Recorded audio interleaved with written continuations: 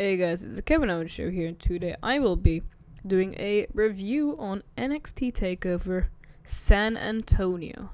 So this has literally happened a few, um, well, probably over ten hours. Stupid pigeons. And um, I really found this a really good event.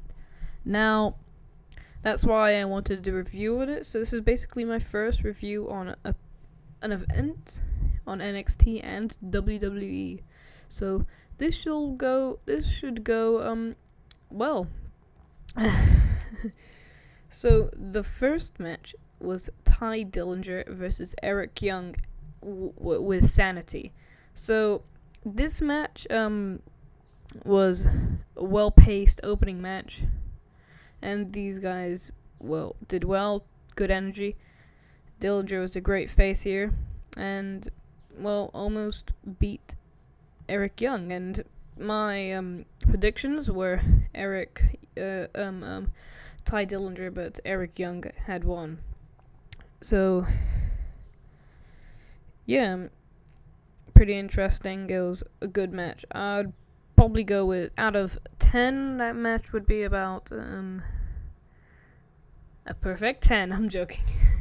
That'd be about mm, a 7. It was a well paced opening match. Great. Good match. So after that, we have Roderick Strong versus Andrade Cien Almas. Now, this is also another good match.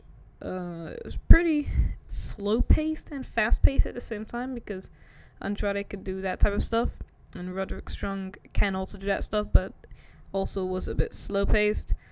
So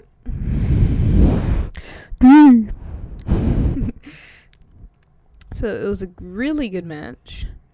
Well what I thought. It was well well paced and that stuff. I I could um see the match. Like it's not one of those matches where everything just goes boom boom boom boom, boom and there we go. Oh, and that happens and that happens and that happens and everything is happening this was like clear to see, so I could see stuff that was happening, and um, well, great stuff. And in fact, Michael Hayes was in the crowd in this at, after this match, and same with Samoa Joe, sitting at ringside. So after this, we have what I thought was an amazing, excellent match. Um, we have Tommaso Ciampa Johnny Gargano, aka the hashtag DIY, versus the Authors of Pain. Well, I'm gonna say my predictions. Well, actually, um, I'll do that after. So, Authors of Pain destroying J- Johnny Gargano and Tommaso Ciampa, and that that that was one I expected, but I didn't really expect that much um fighting back. Like DIY managed to get them get them huge guys down like by just doing some DDTs and super kicks and I'm like Jesus Christ that's that's really um and that's really um pretty interesting and well exciting. But I did go with DIY I went with Also Pain and that's why I'm freaking happy. And um uh, my expectations was just a normal one of those WWE tag team matches and like the pre-show of I don't know Hell in a Cell or something, but um, it turned out really good. Uh, yeah, I I didn't expect this, and after we had a surprise um surprise uh what do you call it? Surprise return I guess? Seth Rollins came and said he took over the show he knows Triple H is, was there, so he called him out. Triple H arrived and then sent his security after Rollins. Well, Rollins did clear them out, but but Mo arrived and took him away. Very unexpected. And that's why I like this event. So after we had the fatal four-way NXT Women's Championship match between Asuka, Peyton Royce, Billie Kay, and Nikki Cross. What the hell is that noise? so I wasn't well I didn't find this match too exciting at a few times like sometimes it'll just become pretty boring at times. Yeah, we had that sort of like double team to win the title thingy, like Peyton Royce and Billie Kay teaming up, and Nikki Cross and Asuka were just single and that stuff. It's not what I want to watch all the time. I do like tag team matches, but I don't really want like those one on one on one on one matches, the fatal four way matches with people teaming up. In my opinion, it doesn't make the match better.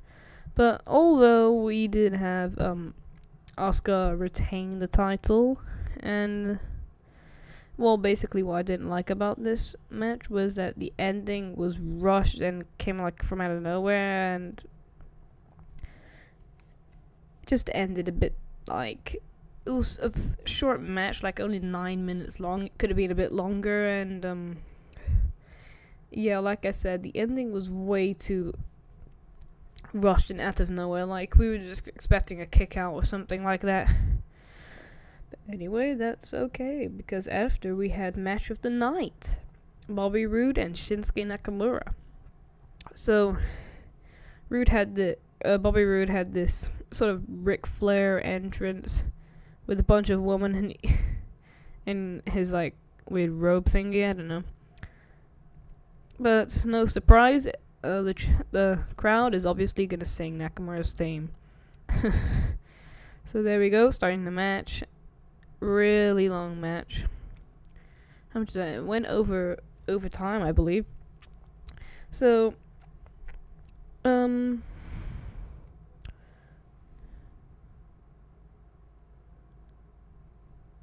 I thought that the match had some really good near falls. It told a pretty good story and that stuff. And mm, it was pretty good.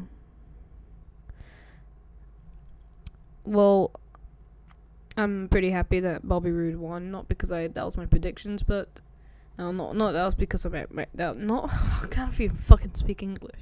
Not because that was my prediction, but it's because we needed a new champion. But I don't want Shinsuke Nakamura going up to the main roster already. He only came in April, and everybody's like, "Oh, I want to see Shinsuke Nakamura in the main roster, like on SmackDown or Raw, uh, and then Rum, and I also want him in a Royal Rumble." Uh. And I feel like Shinsuke Nakamura should just be a bit like Sami Zayn or Finn Balor, and just stay for a while and has some rivalries with like I don't know um Billie Kay or something. I'm joking. Why would he? He might. He might. He just might do a Kinshasa on Kinshasa on Salma, but that is fine. So pretty good. Pretty good um event.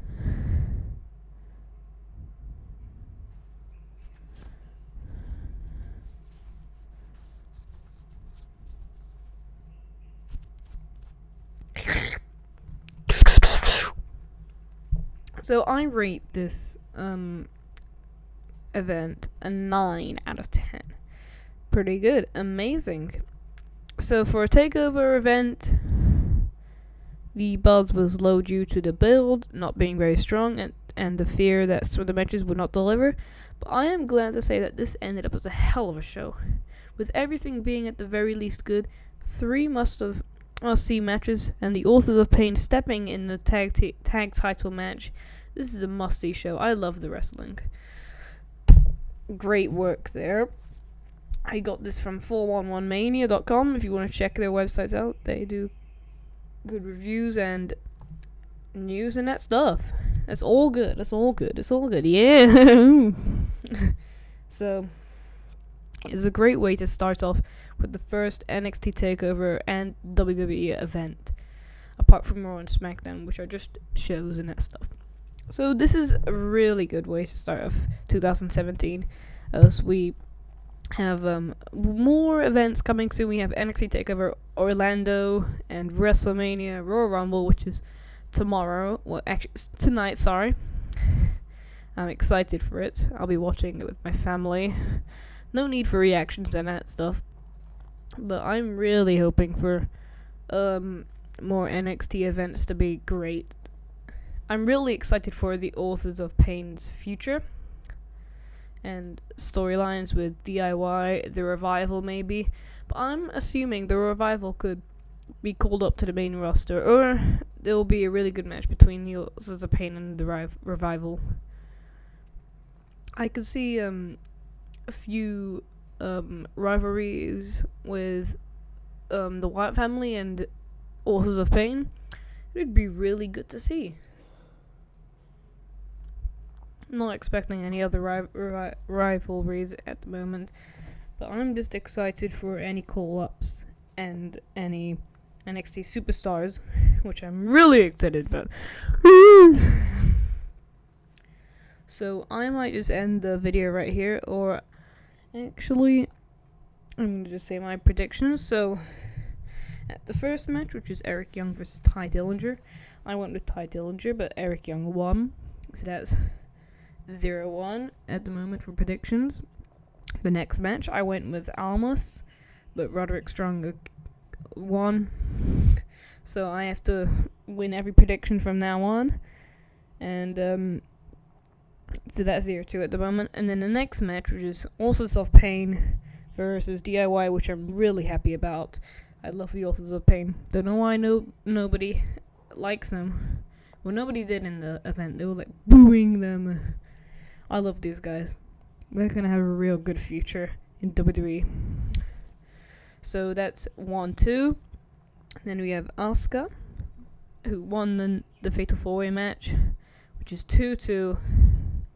I have to win this next prediction, which I did. I predicted Bobby Roode instead of Shinsuke Nakamura, and he won, which is absolutely fantastic. Great booking for Shinsuke Nakamura and Bobby Roode in the future and the title can finally be glorious. No, it's it's not gonna be. Well, there's no change to the title. It's just it's just gonna be the NXT title. Some things are gonna happen to it. So maybe some superstars could go from WWE to Smack to NXT, which I which should happen. Like people who aren't getting pushes, like James Ellsworth or something, should just go to NXT and just do some real good matches. You know like um any jobbers like um the Vaudevillains, they should go back to NXT and compete for titles, riv- rivalries, and and really we need more. They need to they need to be more superstars in NXT. That's the problem with NXT because there's not going to be any new matches. It's going to be Asuka versus uh, this person, this person. Not much to say, and then we have no idea who Asuka's next opponent is going to be, but Asuka needs to be defeated in Orlando, which is nearly a year for holding the title, surprisingly. So, uh, that'll be the end of this TKO talk. Hope you enjoyed. I'll see you next time on uh, probably um tomorrow when I well, when I um, I can't even when I review the Royal Rumble, check my predictions video, which is the first TKO talk. The playlist will be in the description below. it will just be on my channel, okay? I'm not gonna put it in the description because I'm that lazy. All right, thank you. Goodbye.